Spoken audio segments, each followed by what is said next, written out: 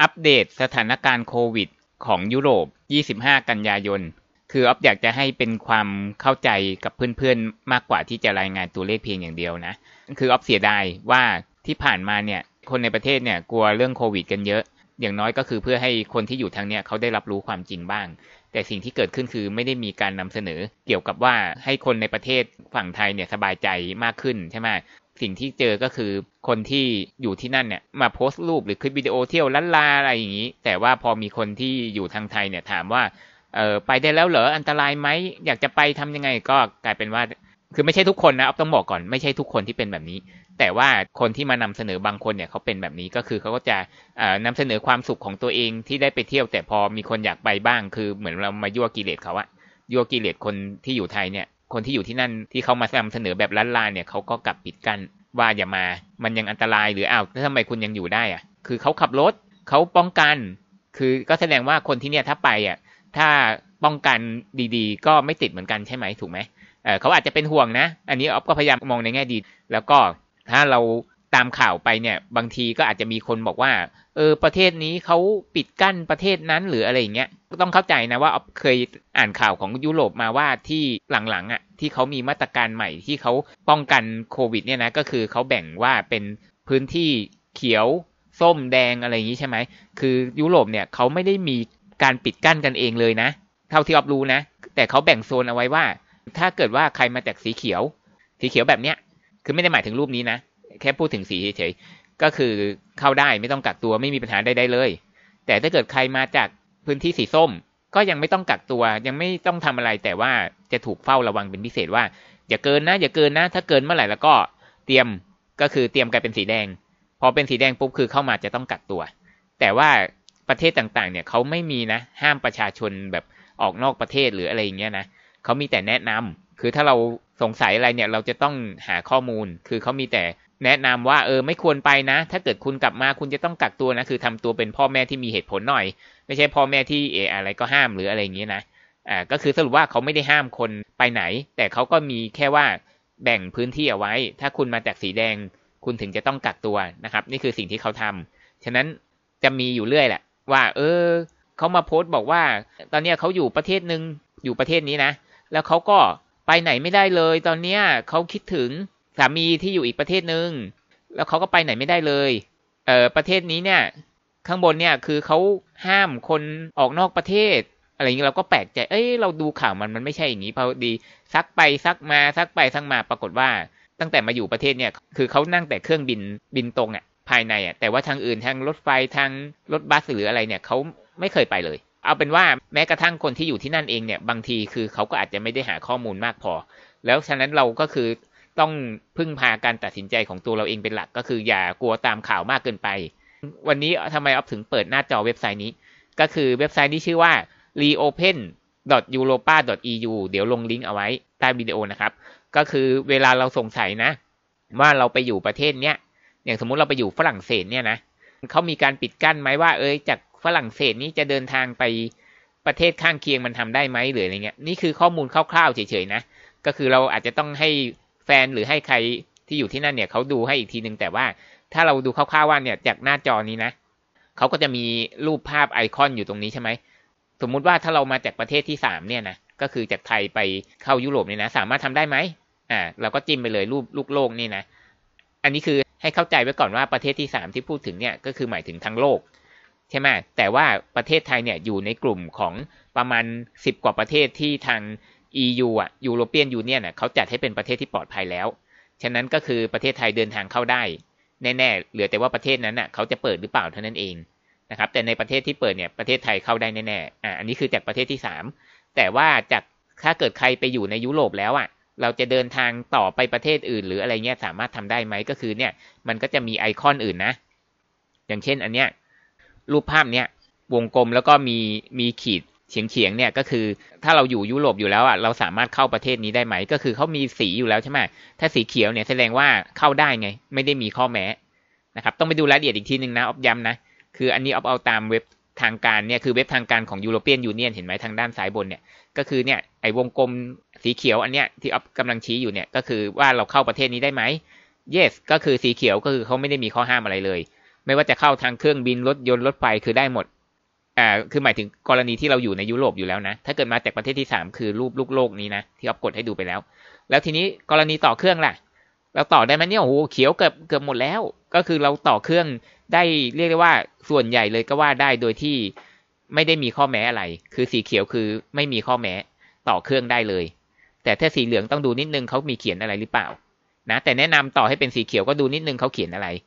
แต่สีเขียวนี่คือโอเคที่สุดแล้วไง หรือว่าเข้าทางรถยนต์ได้ไหมขับรถจากประเทศหนึ่งไปประเทศหนึ่งเราอยากรู้ประเทศอะไรเราก็จิ้มไปเลยเนี่ยอิตาลีขับรถได้ไหมเนี่ยเนี่ย may I enter this country by car หรือ motorbike หรือรถบ้านหรืออะไรเงี้ยนี่ไง yes เฉยๆนี่ไง เข้าได้ทางบกไม่มีข้อแม้อะไรเลยนะ แล้วก็ทางรถไฟล่ะได้ไหมพอรถไฟปุ๊บก็ยังเขียวกันอยู่เหมือนเดิมก็คือเนี่ยเข้าอิตาลีได้ yes เฉยๆไม่มีข้อแม้อะแล้วมาดูไอ้สีเหลืองบ้าง เยอรมนีเนี่ยสีเหลืองแสดงว่าเข้าได้แต่มีข้อแม้เขาก็ลิงก์ต่อไปที่เว็บอื่นก็ตามไปอ่านในนั้น หรือว่าทางรถบัสล่ะอ่าหน้าตาเหมือนกันกับรถไฟเลย อย่างเงี้ย คือสรุปว่าถ้าเป็นสีเหลืองอาจจะมีข้อแม้ หมายถึงว่าเดินทางจากยุโรปประเทศหนึ่งอย่างสมมุติว่าไปอีกประเทศหนึ่งอย่างสมมุติว่าจากฝรั่งเศสจะเข้าเยอรมนี มีข้อแม้อะไรไหมคลิกที่เยอรมนีก็เป็นสีเหลืองมีข้อแม้อยู่ก็กดไปอ่านอะไรอย่างนี้ แล้วเราต้องใช้ใบตรวจโควิดไหมเนี่ยมีรูปใบรูปตัวบวกนี่เห็นปะตรงนี้เขาก็มี ข้อแม้ตรงนี้อยู่ แต่ว่าสำหรับเฉพาะประเทศไทยนะ อย่างที่บอกนะ ให้เรายึดหลักว่าประเทศที่ปลอดภัยที่ยูโรเปียนยูเนียนเขายกเว้นให้ ฉะนั้นก็หมายความว่าประเทศไทยนี่คือ ตอนนี้นะ เอาจากเพื่อนๆที่เดินทางไปจริงแล้วด้วยเนี่ยใบตรวจโควิดไม่ได้ใช้ ไม่มีที่ไหนเขาเรียกใบตรวจโควิดเลยนะ เท่าที่รู้นะตอนนี้นะ จากที่มีคนมารายงานนะ แล้วก็ไอ้รูปบ้านนี่คือกักตัวไหมอะไรอย่างเงี้ยนะ ก็คือของไทยเนี่ยก็ไม่ได้ต้องกักตัวนะ ยกเว้นบางประเทศนะ แต่นี่คือเขาหมายถึงทั้งโลก ก็คือสรุปว่าเราสามารถมาศึกษาเองได้จากเว็บไซต์นี้เลย อย่างที่เขาบอกนะว่ามาตรการของ EU เนี่ยเขาไม่ได้ปิดกั้นเขาแค่แบ่งโซนไว้เขียวส้มแดงฉะนั้นเราต้องดูก่อนว่า คือถ้าแดงยังเข้าได้เลยนะ แต่ว่าต้องกักตัวเท่านั้นเอง อะก็คือจบส่วนแรกไปแล้วนะครับ ที่พยายามจะมาให้ความเข้าใจกับเพื่อนๆ เพื่อป้องกันความสับสนว่าคนที่ไปอยู่ที่นั่นแล้วเนี่ย คือบางทีก็แบบตื่นตกใจมากเกินไปไงอุ้ยยุโรปเขาจะล็อกดาวน์แล้วหรืออะไรเงี้ยมันไม่ใช่ไง คือเราดูเว็บทางการของ EU อะประกอบไปด้วย ก็คือแต่ละประเทศยังเดินทางเข้ากันได้อยู่ แต่ว่าแล้วแต่ว่าคุณมาจากโซนเขียวเหลืองหรือแดงเท่านั้นเองอะไรอย่างเงี้ยนะอ่าก็คือใครมีความคิดเห็นยังไงก็เสนอมาอีกได้นะครับออฟก็พยายามจะอธิบายเท่าที่ออฟพยายามพูดได้ ส่วนของสถิติโควิดนะครับ ช่วงนี้เราจะได้ยินข่าวเยอะเลยว่าโอ้ยุโรปนี่เว็บสองหรือบางคนบอกเว็บสามออฟก็ไม่รู้ว่าไปเอาคำว่าเว็บสามมาจากไหนนะ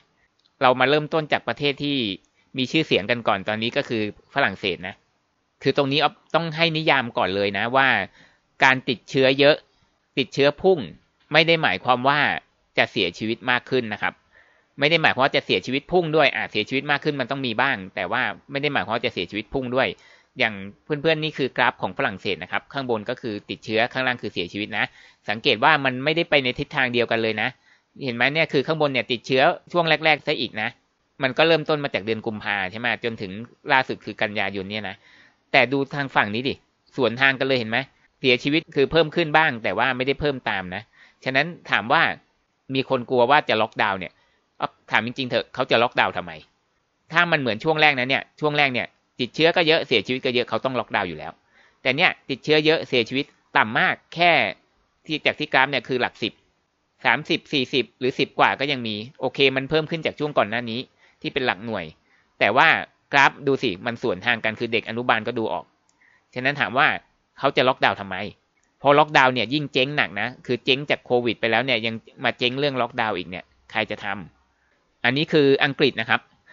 มีอยู่ช่องหนึ่งนะเขาบอกว่าอังกฤษกำลังเจอเว็บสามก็งงนะ เพื่อนๆดูจากกราฟเนี่ยอันไหนหรือคือเว็บสามเว็บสามก็คือหมายความว่าการจะมีเว็บเนี่ยก็คือว่ามันเคยขึ้น เสร็จแล้วมันก็ลงแล้วมันก็ขึ้นอีก แล้วมันก็ลงแล้วก็ขึ้นอีก ตรงเนี้ยมันยังพิ่งจากเว็บสองเท่านั้นเองนะ เอาเป็นว่าดูจากรูปเนี่ยไหนคือเว็บสามเชื่อไหมว่าถ้าเราไปถามฝรั่งบางคนเนี่ยเขายังพูดเลยว่าเว็บหนึ่งยังไม่เคยมีเลยนะ แล้วมันจะไปมีเว็บสองเว็บสามได้ยังไง เว็บหนึ่งเขายังไม่เคยมี คือฝรั่งเนี่ยเขามีหน้าหนาวกับหน้าร้อนสลับกันเนี่ยเขารู้กันอยู่แล้วว่าเดี๋ยวเข้าหน้าหนาวเนี่ยเขาต้องมีโรคไข้หวัดเนี่ยพุ่งอยู่แล้ว คือโควิดเนี่ยก็คือไข้หวัดชนิดหนึ่งใช่ไหมที่ มันระบาดได้เร็วกว่าไข้หวัดปกติเท่านั้นเอง คือไข้หวัดชนิดหนึ่งโควิด คือไข้หวัดชนิดหนึ่งที่ระบาดได้ง่ายระบาดได้เร็วกว่าเท่านั้นเอง แล้วก็โรคอื่นเนี่ยเราไม่เคยมาทำเวฟอะไรแบบนี้เลยนะ เราก็เลยไม่ตกใจไงคือเหมือนไม่มีใครมากระตุ้นเราอะแต่ว่าพอโควิดเนี่ยสื่อต่างๆ ต่างพร้อมใจกระตุ้นเราซะเหลือเกินอะไรอย่างนี้ใช่ไหมเราก็เลยกลายเป็นตกอยู่ในความกลัว ตกลงนี่สื่อนี่คือเหมือนเป็นดาบสองคมเลยนะ คือทำให้คนรู้ข่าวคราว แต่ว่าก็ทำให้คนตื่นตกใจมากด้วยเช่นเดียวกัน แล้วทีนี้ถามเพื่อนๆว่าถ้าเป็นเพื่อนๆเป็นรัฐบาลอังกฤษเนี่ยเพื่อนๆจะล็อกดาวน์ไหมเห็นรูปนี้ ลองถามตัวเองนะครับ ลองให้คำตอบว่าว่าจะล็อกดาวน์ไหม เพราะว่าดูสิอันนี้สูงก็จริงนะ แท่งสุดท้ายสูงกว่าอันแรกซะอีกนะ แต่ว่าดูทางฝั่งนี้สิการเสียชีวิตเนี่ย ต่ำกว่าฝรั่งเศสซะอีกนะสิบกว่ายี่สิบกว่าคนเนี่ยเขาบอกว่าอังกฤษเตรียมจะล็อกดาวน์คือเพื่อนๆที่ได้ยินคำว่าล็อกดาวน์เนี่ย บางทีอาจจะตกใจ เพราะว่าเราเคยล็อกดาวน์ทุกสิ่งมาแล้วในเดือนเมษายนที่ผ่านมา แต่ความจริงแล้วเนี่ย คือการล็อกดาวน์เนี่ยมันมีหลายระดับนะ ระดับแรงที่สุดก็คือที่เราเคยเจอกันมาแล้ว ซึ่งตอนนั้นเขาตกใจ นี่ไง ติดเชื้อก็เยอะเสียชีวิตก็เยอะเขาตกใจเขาต้องล็อกดาวน์ทุกสิ่งอยู่แล้ว แต่ล็อกดาวน์เนี่ยมันมีหลายระดับ คือล็อกดาวน์แค่บางอย่าง ล็อกดาวน์แค่บางเมือง ล็อกดาวน์แค่บางพื้นที่ ล็อกดาวน์แค่บางธุรกิจ แล้วก็ล็อกดาวน์แค่เฉพาะบางเวลา อย่างเช่นตอนกลางคืน ตอนกลางวันเขาก็ปล่อยให้ไปทำงานตามปกติ ล็อกดาวน์มันมีหลายระดับนะออฟเชื่อว่าล็อกดาวน์หมดเลยแบบที่เดือนเมษาเนี่ยจะไม่มีแน่นอนเพราะสถานการณ์เนี่ยมันดูคนละอย่างกันแล้วเนี่ยคือสถานการณ์ช่วงนั้น นี่คือสถานการณ์ช่วงนี้ ติดเชื้อเยอะเสียชีวิตต่ำมาก จะล็อกดาวน์แค่บางส่วนเท่านั้น หรือบางทีล็อกดาวน์เนี่ยก็ไม่ได้หมายความว่าปิดหมดนะ บางทีอาจจะเป็นแค่การขอร้อง คนบางกลุ่มก็คืออยู่กับบ้าน หรือว่าล็อกดาวน์คือขอให้อย่าจับกลุ่มกัน เกินกี่คน หรือว่าขอร้องให้เว้นระยะห่าง เวลาเข้าตึกขอความร่วมมือหรือบังคับให้ใส่หน้ากากอนามัย สรุปว่ามันมีการล็อกดาวน์หลายแบบ แต่ว่าคนเห็นคำว่าล็อกดาวน์ก็คือตกใจไปก่อนล่วงหน้าว่ามันจะร้ายแรง ซึ่งอย่างที่บอกมันไม่มีทางเป็นเหมือนช่วงแรกๆแน่นอน อันนี้ต่อมาก็คือนอร์เวย์นะ ซึ่งมีคนที่อยู่ที่นั่นบางคนเนี่ยเขาบอกว่านอร์เวย์กำลังจะล็อกดาวน์นอร์เวย์ห้ามออกนอกประเทศ ถามว่าถ้าดูจากทรงนี้ นอร์เวย์เนี่ยเหรอจะล็อกดาวน์คือแน่นอนถ้าเราพูดถึงรัฐบาลเนี่ยนะรัฐบาลเขาต้องเข้มงวดอยู่แล้ว คือรัฐบาลเขามีหน้าที่ต้องปกป้องประชาชน เขาต้องพยายามออกมาตรการอยู่แล้ว แต่อย่างที่บอกนะฝรั่งเขาไม่เคยห้ามคนออกนอกประเทศ เขามีแต่ให้คำแนะนำอาจจะแนะนำแรงหรืออะไรก็ว่ากันไป แต่มันห้ามกันไม่ได้ครับ นึกถึงสิทธิมนุษยชนเขาให้เกียรติ ซึ่งกันและกันอยู่เสมอ ฉะนั้นเขาห้ามไม่ได้ เขามีแต่แนะนำแต่เขาไม่เคยห้ามนะ ฉะนั้นจากกราฟนี้นะออฟเชื่อว่า เป็นความเชื่อของออฟเฉยๆนะว่าแค่เนี้ยนอร์เวย์เขาไม่ล็อกหรอก ดูสิ เสียชีวิตแค่สองร้อยกว่าคนเนี่ยนะ ถ้าเปรียบเทียบกับอีอังกฤษฝรั่งเศสที่เขาเปิดเนี่ยนะ อันนั้นสามหมื่นสี่หมื่นอันนี้แค่สองร้อยเองเขาจะล็อกทำไม อ่าอาจจะมีตรงนี้เพิ่มขึ้นสูงกว่าเดิมนะ แต่ถามว่าถ้าเทียบกับสองประเทศนั้นอะ มันยังไงล่ะ ใช่ไหมกราฟตรงนี้ดูเหมือนพุ่งสูงก็จริงนะ แต่ว่าดูดิสเกลแค่สิบเองนะ ก็หมายความว่าเนี่ยที่เห็นอย่างเงี้ยหนึ่งคนหนึ่งคนอย่างเงี้ยนี่แท่งนี้สูงขึ้นนิดหนึ่งสี่คนอย่างเงี้ยเขาจะล็อกทำไม ก็คือคนดูก็ ใช้วิจารณญาณได้ว่าแบบนี้คือล็อกจะล็อกนั้นหรือ ต่อมานะครับอิตาลีนะที่ก็มีคนบอกอิตาลีจะล็อกดาวน์อิตาลีห้ามเข้าประเทศ แบบนี้เหรอจะห้ามเข้าประเทศ ดูดิอิตาลีดีกว่าประเทศอื่นด้วยซ้ำนะฝรั่งเศสสูงกว่าเว็บแรกแล้วนะ อังกฤษก็เริ่มจะสูงกว่าเว็บแรกนะ แต่ดูอิตาลีประเทศที่แย่ที่สุดในช่วงแรกๆนะเกี่ยวกับการเสียชีวิตของโควิด ตอนนี้กลายเป็นว่าเอาว่าอิตาลีเขาน่าจะป้องกันดีกว่าประเทศอื่นแล้วด้วยซ้ำนะ ฉะนั้นแบบนี้เหรอจะล็อกดาวน์เพื่อนๆลองให้คำตอบดูสิ แล้วก็เนี่ยยังไม่ได้ครึ่งหนึ่งของเว็บแรกเลยนะ แต่วงเล็บอย่างที่อ๊อฟบอกนะฝรั่งบางคนบอกเว็บแรกยังไม่เคยมีเลย คือเรื่องโรคหวัดเนี่ยมันเป็นโรคประจำของเขาอยู่แล้ว คือเขารู้สึกเคยชินฉะนั้นเขาก็เลยไม่ได้ตื่นตกใจเหมือนเราไงเรานี่คือเสพข่าวมากเกินไปจนกลัวเกินเหตุอะไรอย่างเงี้ยนะแล้วการเสียชีวิตของเขาเนี่ย ดูดิก็แค่สิบกว่าใช่ไหมคืออย่างที่บอกนะว่าไม่มีใครอยากให้มีคนเสียชีวิตนะ แต่ว่าถามว่าคนที่แบบว่าอ๋อคุณใจร้ายมากเลย คุณอยากให้มีคนตายใช่ไหมแล้วถามว่า คุณไปโฟกัสมากเลยนะ คนตายจากโควิด แล้วคนตายจากโรคอื่นทำไมคุณไม่ไปตามสงสารเขาบ้างล่ะทำไมคนตายจากโรคหัวใจหลอดเลือดตีบในสมองทำไมคุณไม่ไปตามสงสารเขาบ้างล่ะทำไมไม่ตามสงสารให้ทั่วเลยล่ะ ใช่ไหมคือไอ้พวกนั้นอะโรคเหล่านั้นอะเขาไม่ได้มาทำกราฟ ไม่ได้มาทำตัวเลขไง วันนี้โลกนี้เราทำตัวเลขสื่อรายงานทุกวัน เราก็เลยกลายเป็นจิตตกกับเรื่องนั้นอะ อ่าอันนี้ขอสวีเดนนิดนึงนะครับ สวีเดนนะครับออฟเคยพูดข่าวไปว่าสวีเดนตอนนี้ประสบความสำเร็จในการที่สร้าง herd immunity ก็คือสวีเดนมีแต่ปิดประเทศในช่วงแรก ๆ แต่ว่าไม่เคยล็อกดาวน์นะครับ ก็ดูสิว่ากราฟต่างจากประเทศอื่นไหมคือคือมีสูงสุดถึงแค่ช่วงกลางๆเท่านั้นเองนะ หลังจากนั้นก็คือนี่ไงต่ำเตี้ยเลียดินมากในเรื่องของการติดเชื้อนะครับ แต่พอเรื่องของการเสียชีวิตดูสิ ต่ำกว่าอิตาลีซะอีกนะเนี่ยหลังๆเนี่ยนะเดือนหลังเหลือแค่หลักหน่วยแบบ หนึ่งคนสามคนเนี่ยบางวันก็ไม่มี นี่ไงคือผลของความกล้าไง เรียกได้ว่าหัวล้อทีหลังดังกว่าไง คือตอนนี้ออฟว่ารัฐบาลเขาก็รู้ ว่าเราที่ผ่านมาเนี่ยปอดแหกเกินไปเอาขอพูดอย่างนี้ปอดแหกเกินไป เรากลัวเกินไป ฉะนั้นตอนนี้เราไม่มีภูมิคุ้มกันเลยแล้วดูสวีเดนช่วงแรกๆเขายังไงเขาโดนด่าเยอะนะเขาไม่ล็อกดาวน์แต่ว่าดูหลังๆดิต่ำมากอะ่ะส่วนทางกับประเทศอื่นมากอะ่ะส่วนทางกับแม้กระทั่งยุโรปด้วยกันเอง แล้วก็สเปนครับ อาจจะเป็นประเทศที่สถานการณ์แย่ที่สุด ถ้าเทียบกับประเทศอื่นนะ เพราะว่าสเปนเนี่ยเป็นประเทศที่มีนักท่องเที่ยวมากที่สุด อาจจะเป็นอันดับสองมั้งรองจากฝรั่งเศสนะแล้วเขาก็รีบเปิดก่อนประเทศอื่น คือเขาจำเป็นเรื่องการท่องเที่ยวมากกว่าประเทศอื่น ตอนนี้เขามีเว็บที่สองนะ สูงกว่าเว็บแรกค่อนข้างมากเลย แล้วการเสียชีวิตของเขาก็เพิ่มขึ้นนะ แต่ดูสิถึงแม้จะเพิ่มยังไงก็ตามเนี่ยนะ จากช่วงแรกๆเนี่ยเจ็ดร้อยถึงแปดร้อยเลยนะ ตอนนี้ก็คือเจ็ดสิบถึงแปดสิบนะ ยังต่ำกว่าช่วงแรกมาก ถามว่าถ้าอย่างนี้คือสเปนจะล็อกดาวน์ไหมเว็บแรกเสียชีวิตเจ็ดร้อยถึงแปดร้อยเว็บสองเสียชีวิตเจ็ดสิบถึงแปดสิบต่ำลงถึงเก้าสิบเปอร์เซ็นโอเค รัฐบาลเขาต้องคุมนะ ถ้าเราได้ยินข่าวว่ายุโรปจะทำอะไร เพิ่มเติมมีมาตรการอะไรเข้มงวดเนี่ยคือรัฐบาลเขาต้องคุม ไม่คุมไม่ได้ แต่ว่าในเรื่องของความกลัว เรื่องของการล็อกดาวน์อะ ถามว่าเขาจะทํำไหม ดูหน้าตากราฟอย่างนี้ คือเขาต้องคุมไม่ให้มันมากกว่านี้เขาต้องพยายาม แต่ว่าเขาจำเป็นถึงขั้นต้องล็อกดาวน์ไหม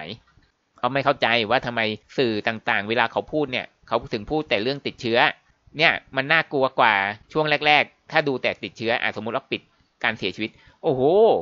สเปนครับ สเปนสูงกว่าอีกติดเชื้อ ถ้าออฟดูแต่ติดเชื้อนะ แต่พอมาดูเสียชีวิตดูสิ มันเป็นอย่างเงี้ย แล้วเพื่อนๆคิดว่าเขาจะล็อกดาวน์ไหมอ่า แล้วก็ต่อมาเนเธอร์แลนด์ครับ เนเธอร์แลนด์เนี่ยมีคนมาโพสต์อยู่เรื่อย เออ อยู่ตอนนี้อยู่เนเธอร์แลนด์นะ เนเธอร์แลนด์ต้องระวังนะเขาล็อกเขาอะไรนะ กักตัวหรืออะไรคือจำข่าวไม่ได้แล้วว่าเหมือนประมาณว่าเขาห้ามประชาชน